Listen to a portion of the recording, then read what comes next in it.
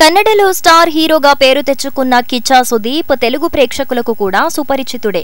ఈగ సినిమాతో తెలుగు ప్రేక్షకులకు బాగా దగ్గరైన సుదీప్ ఆ తర్వాత బాహుబలి సైరా నరసింహారెడ్డి వంటి సూపర్ హిట్ సినిమాలలో కూడా నటించి మంచి ఫ్యాన్ ఫాలోయింగ్ ఏర్పరచుకున్నారు. తాజాగా విక్రాంత్ రోనా అనే ఒక పాన్ ఇండియన్ సినిమాతో ప్రేక్షకుల ముందుకి వచ్చారు సుదీప్.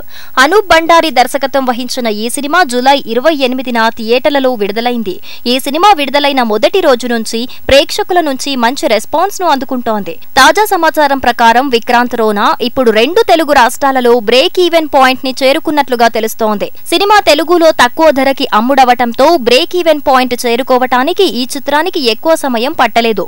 టికెట్ రేట్లు కూడా తక్కువగా ఉన్నప్పటికీ సినిమాకి మంచి పాజిటివ్ రెస్పాన్స్ వస్తూ ఉండటంతో ప్రేక్షకులు సినిమా చూడటానికి ఆసక్తి చూపించారు. Major Vikram Charlie triple seven వంటి సినిమాల తర్వాత మళ్ళీ బ్రేక్ ఈవెన్ పాయింట్ని చేరుకున్న సినిమాగా మారింది విక్రాంత్ రోనా.